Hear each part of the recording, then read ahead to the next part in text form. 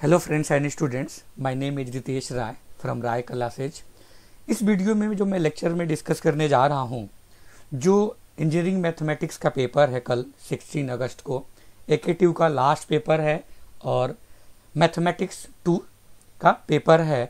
तो इस वीडियोज़ में सारे सिलेबस में जो मोस्ट इंपॉर्टेंट टॉपिक्स है, यदि आप इन टॉपिक्स को कर लेते हो, आपके बहुत अच्छे मार्क्स आएँगे।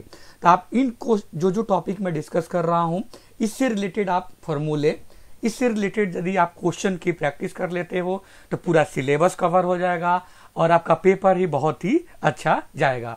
आप जानते हो, आपने देखा है कि मैथ वन में बहुत ही बच्चों को कैरी पेपर आए हैं। इसीलिए मैथ टू पेपर आपको बहुत अच्छे से पढ़ना है और सो डैट की सारा आपका मैथ टू का जो पेपर है पेपर भी क्लियर हो जाए और आपके अच्छे मार्क्स आए।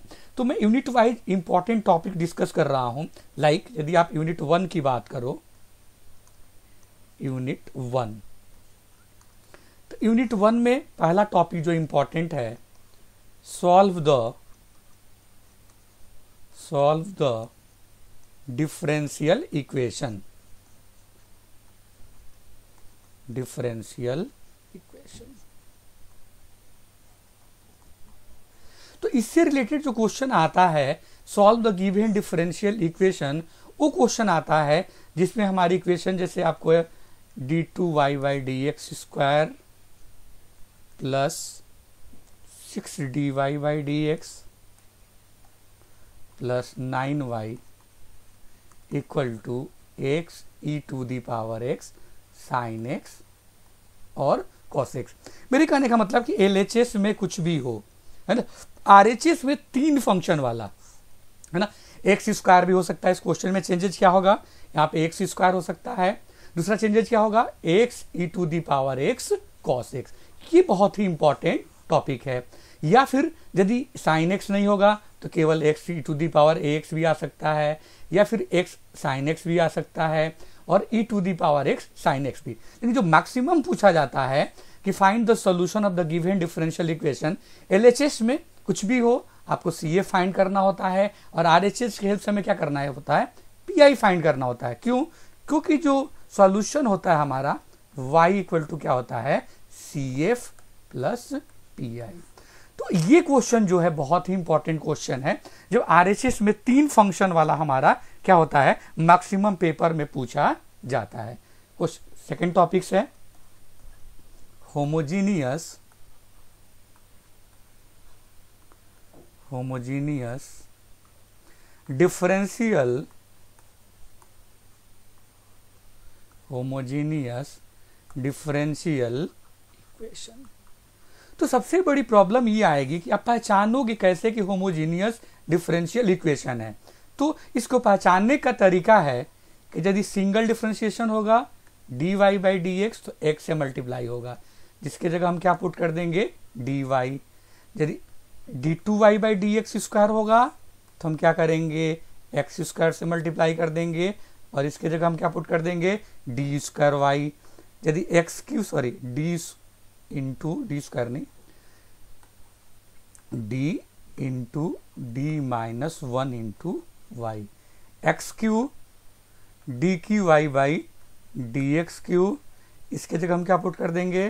D D minus one D minus two into Y और जो हम लेट कर लेते हैं, हम जहाँ एक्स है एक्स के जगह हम क्या लेट करते हैं? X equal to E to the power Z तो जेड की वैल्यू क्या आ जाएगा? जेड इक्वल टू क्या हो जाएगा? लॉग एक्स तो जो भी हम सी ए पी आई लिखेंगे पहले complementary function and P I वो हम पहले जेड के टर्म में लिखेंगे। इन टर्म्स ऑफ़ जेड लेकिन जो फाइनल आंसर लिखेंगे, जब y equal to C F plus P I तो हम क्या करेंगे? पूरी इक्वेशन को जो हम सी ए पी आई होगा, वो x के फॉर्म में होगा। जो फाइनल आंसर लिखेंगे, x और जैसे ही ये वैल्यूज़ पुट कर देंगे हम, x D Y by D S के जगह D Y X square D two Y by D X square के जगह D into D minus one into Y X cube D cube Y by D X की जगह D x की जगह D into D minus Y into D minus two into Y और x equal to E to the power Z तो बिल्कुल ये पहले वाला जो टॉपिक है, इसमें केवल सी एफ़ और पी आई फाइंड करते हैं। जैसे सी एफ़ फाइन करने का अलग अलग मेथड है। वो आप मेरे वीडियोज़ में जा करके इंजीनियरिंग मैथमेटिक्स टू के प्लेलिस्ट में जाओ। प्लेलिस्ट में जा करके इंजीनियरिंग मैथमेटिक्स टू में जा करके सारी वीडियो जिसे सी एफ़ कैसे फाइंड करते हैं पी आई कैसे फाइंड कर सकते हैं, हम लोग आप जा करके देख सकते हो। तो ये होमोजेनियस हो गया। नेक्स्ट थर्ड टॉपिक है। Method of method of variation of parameter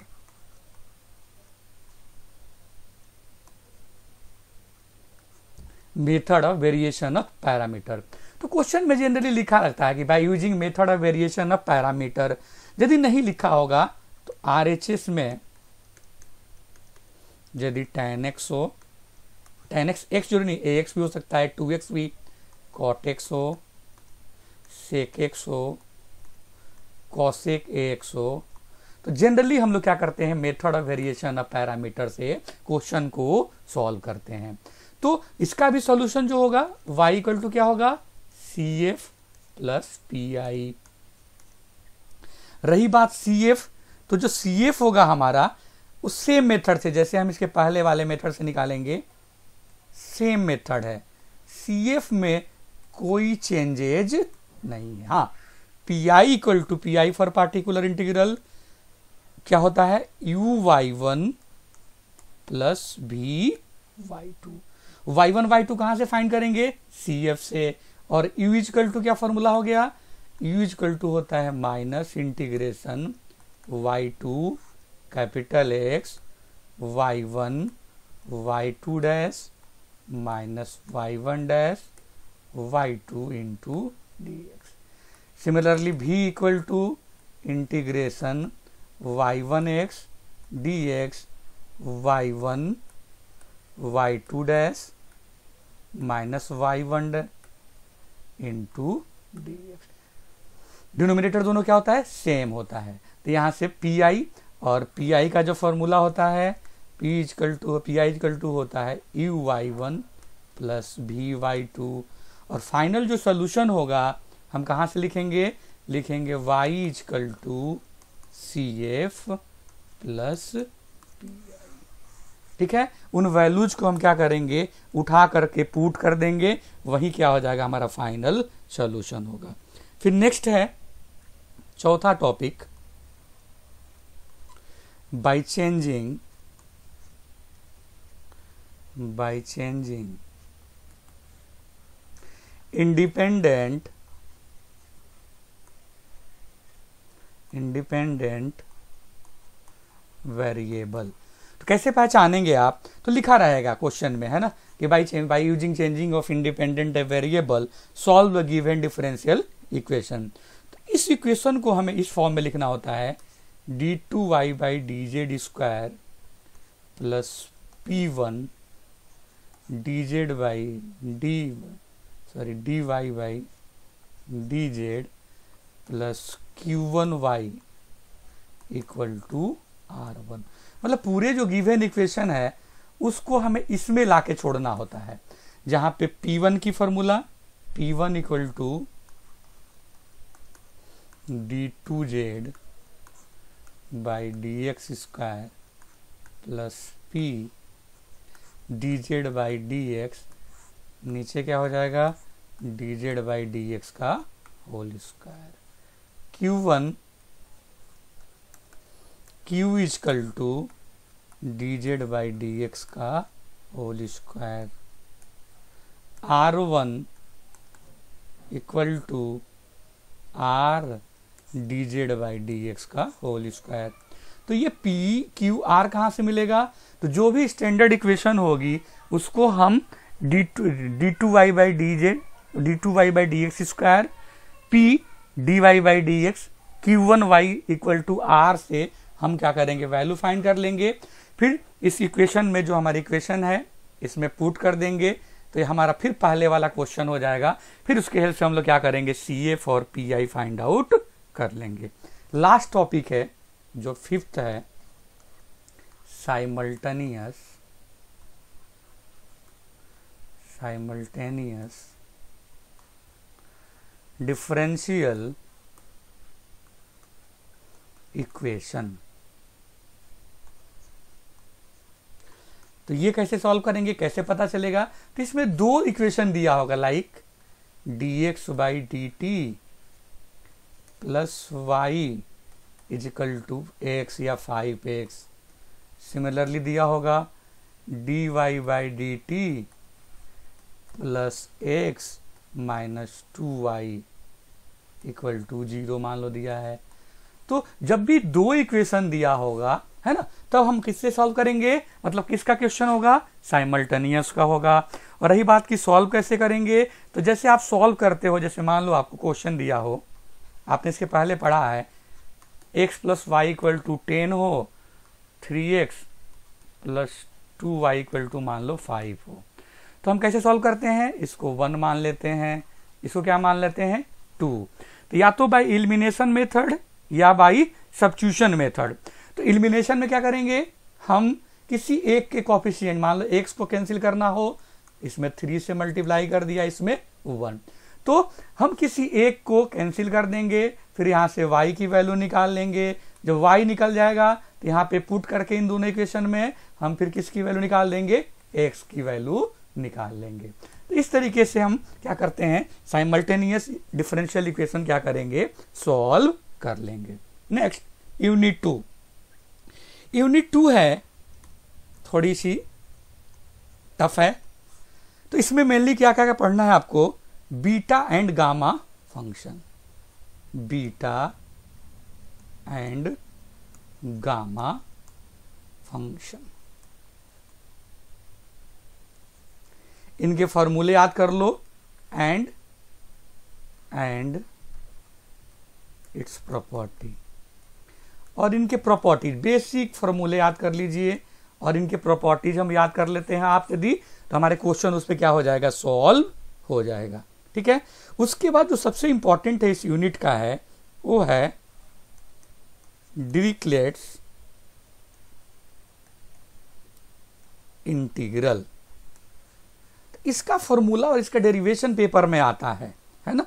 And its application and its application तो यदि इसका फॉर्मूला डिराइव करने के लिए, लिखने के लिए नहीं आएगा तो इससे रिलेटेड हमारा क्वेश्चन 100 परसेंट एक क्वेश्चन आपके 10 मार्क्स में डिक्लेट इंटीग्रल से आएगा ही, आएगा। फिर नेक्स्ट है application of application of definite integral for surface area and volume of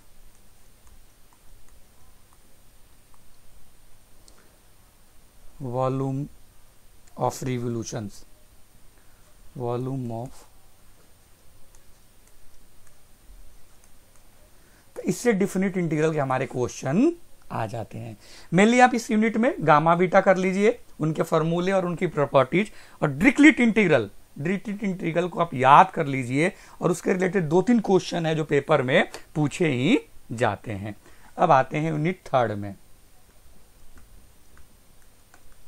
unit third इसमें सबसे इंपॉर्टेंट है फोरियर सीरीज़ फोरियर तो सीरीज़ का पहले फॉर्मूला कि एफ़ एक्स इक्वल टू हमारा होता क्या है? सीरीज़ बनती कैसे है?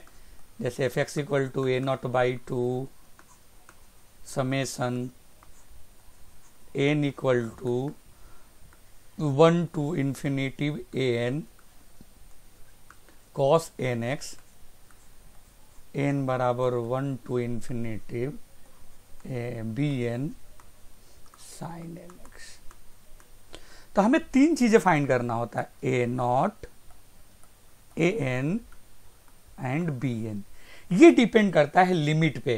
तो आपको सारी लिमिट के जैसे ज़ीरो टू टू पाई। यदि एक्स की लिमिट हो तो क्या फॉर्मूले यूज़ करते हैं? कैसे फॉर्मूले है? यदि याद है तो आप सीरीज़ बना लोगे। सबसे जो इंपॉर्टेंट है माइनस पाई टू पाई। ये क्वेश्चन पूछा जाता है। कि जब limit minus pi to pi हो तो हम फ़ंक्शन को चेक करते हैं। एफ़ एक्स यदि हमारा इवन फ़ंक्शन हो तो बी एन क्या होता है? ज़ीरो होता है। ए नॉट का फॉर्मूला क्या हो जाएगा? Two by pi, zero to pi F X D X और ए एन इसी में कॉस एन एक्स से मल्टीप्लाई कर दूँ मैं। Two by pi integration zero to pi F X cos N X into D X similarly यदि function हमारा odd है ऑड फ़ंक्शन और अच्छी बात है A naught B zero A N भी ज़ीरो केवल और केवल बी एन फाइंड करना होता है। तो ये इसका फॉर्मूला क्या हो जाएगा? Two by pi zero to pi F X sine N X. ये सारे आप डिटेल में जा करके मेरे वीडियोज़ में इंजीनियरिंग मैथमेटिक्स टू में फोर ईयर सीरीज़ की सारे वीडियोज़ है, सारे क्वेश्चन है। तो जो इस इंपॉर्टेंट क्वेश्चन है इस टॉपिक के फोर ईयर सीरीज़ के इंपॉर्टेंट क्वेश्चंस पहला, F X equal to X sine X जब लिमिट हमारी minus pi to pi X sine X के जगह कॉस एक्स भी हो सकता है, ध्यान रखिएगा। F x equal to x square जब लिमिट हमारी माइनस पाई टू पाई तीसरा, f x equal to x plus x square जब लिमिट हमारी माइनस फाइव टू चौथा, f x equal to, x sine x या एक्स कॉस एक्स, जब limit हमारी zero to two फिर उसके बाद टॉपिक क्या है? एक है हाफ़ रेंज साइन सीरीज़, इसके क्वेश्चन कर लेना है। वो सेन ऑड वाला कॉन्सेप्ट होगा, केवल बी एन फाइंड करते हैं। Similarly half range cosine series और लास्ट टॉपिक है इसका चेंज ऑफ़ इंटरवल मतलब कांस्टेंट लिमिट दिया होगा। इतना टॉपिक कर लें तो ये यूनिट थर्ड क्या है आपका? सॉल्व हो जाएगा। मतलब पूरी टॉप मैक्सिमम सिलेबस आपका कवर हो जाएगा। अब आते हैं यूनिट फोर्थ में। यूनिट फोर्थ की डिस्कस करेंगे। यूनिट फोर्थ जो है, उसमें आपका कॉम्प्लेक्स वेरिएबल है। जो टॉप मतलब इस यूनिट का नाम है कॉम्प्लेक्स वेरिएबल इसमें जो इंपॉर्टेंट टॉपिक है एनालिटिक फ़ंक्शन प्रूफ करने के लिए आता है। गिवन फ़ंक्शन एनालिटिक और होलोमॉर्फिक भी बोलते हैं। होलोमॉर्फिक। जो सी आर इक्वेशन से है। सेकेंड है हार्मोनिक फ़ंक्शन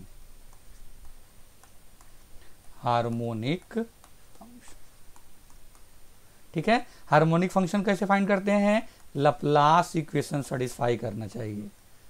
कोई भी गिवन इक्वेशन यदि लपलास इक्वेशन सेटिस्फाई करेगा तो क्या होगा वो? हार्मोनिक होगा। और एनालिटिक फ़ंक्शन में क्या करते हैं? यदि सी आर इक्वेशन सेटिस्फाई करेगा तो क्या हो जाएगा आपका? वो मतलब एनालिटिक फ़ंक्शन होगा। उसके बाद यहीं पे इंपॉर्टेंट टॉपिक है आपका। इसी में इंपॉर्टेंट टॉपिक की बात करेंगे आपका। तो जैसे हार्मोनिक फ़ंक्शन है वो कार्टिसियन पोलर कोऑर्डिनेट का। दोनों के लिए होता है, फिर method to find analytic function Thomson method होता है। मतलब हमें यू दिया होगा और हम भी क्या करेंगे? आपका फाइंड आउट करेंगे analytic function to find analytic function by using Milne Thomson method अब आते हैं यूनिट फिफ्थ में। तो यूनिट फिफ्थ की जो बात करेंगे हम, है ना?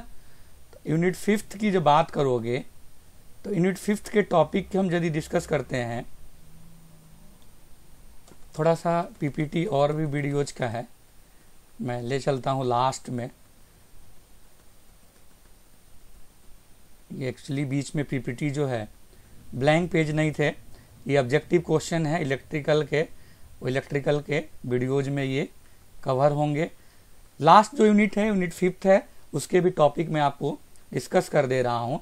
यदि आप इन टॉपिकों को अच्छे से कर लेते हो तो पूरा पेपर आपका क्या हो जाएगा? सॉल्व हो जाएगा और आपको मैक्सिमम मार्क्स जो क्या करोगे आप? गेन कर लोगे। ओके? तो यदि यूनिट फिफ्थ के सिलेबस की बात करेंगे तो उसमें हमारा क्या है? टेलर सीरीज़ है, ल्यूरन सीरीज़ है, रिसीड्यू थ्योरम हम कैसे फाइंड करते हैं? ये हमारा है। ओके?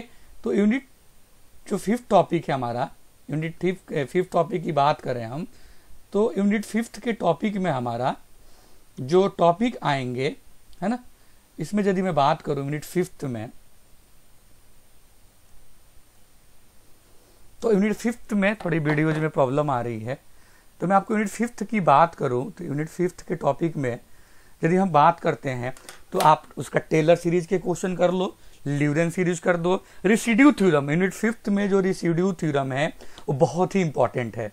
और यदि आप रिसीड्यू थ्योरम टेलर्स कर लो ल्यूरन सीरीज़ कर लो, और जो आपका evaluation of real integral of integration zero to two pi f cos theta comma sine theta d theta and integration of minus infinity to infinity f x d x कर लेते हो तो पूरा पेपर आपका क्या हो जाएगा? सॉल्व हो जाएगा ओके थैंक यू